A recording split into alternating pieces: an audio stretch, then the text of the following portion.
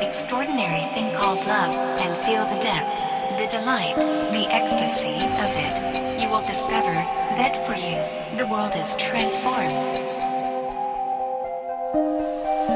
If we know the divine art of concentration, if we know the divine art of meditation, if we know the divine art of contemplation, easily and consciously, we can unite the inner world and the outer world.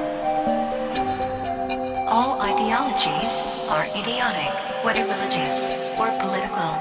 For it is conceptual thinking, the conceptual word, which has so unfortunately divided man.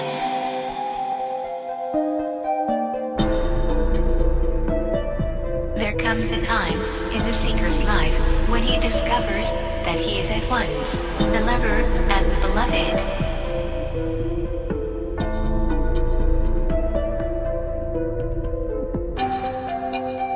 If we can really understand the problem, the answer will come out of it.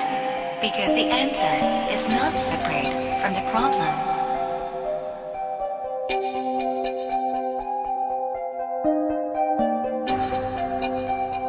The universal in your love.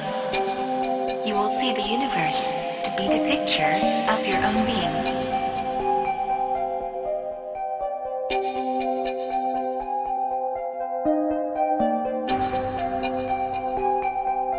Religion is the frozen thought of man, out of which they build temples.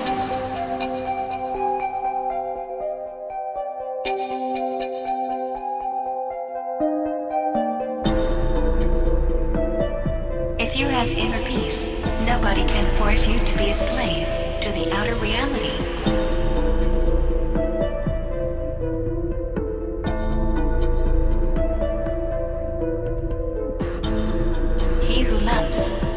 Grows old.